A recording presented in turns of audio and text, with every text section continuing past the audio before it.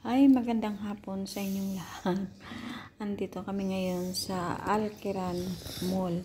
So, ayan guys, nag-iikot kami at napakaganda dito sa loob. At marami ka rin itong makikita mabibilhan at napakagandang mga mara, uh, magan, napakagandang mga bilahi, bilihan.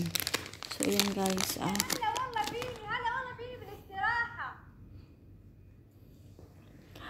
marami kang makikita mabibilhan at mga murang mga sapatos.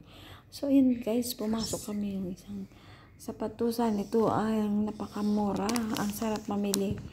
Kaso nga lang, walang pera, kulang, ay kulang, wala sa budget.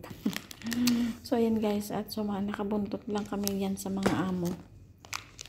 Sa amo ko sa pamamasyal. Kasama kasama na lang na lang ako kami dyan sa loob. At ito guys, napakaganda talaga as in napakalaking mall doon. Pag yung sa mga sa mga nandito po sa Kuwait, pag pumunta po tayo kayo sa chalet at yan yun yung Alki, Alkiran Mall sa Mal Alkiran na chalet dyan po at mga nandyan na rin po yung mall napakalaki at napakaganda rin sa loob. Marami kayong makikita.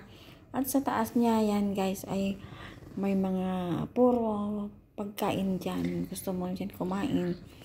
Uh, pwede ka na rin dyan na marami kang mapagpipilian dyan. Kung saan yung gusto mong na pipiliin na papasukan na restaurant na kakainan. So, ayan guys, at Maraming salamat po sa mga followers at mga nanonood sa aking mga video. Thank you at ingat. God bless.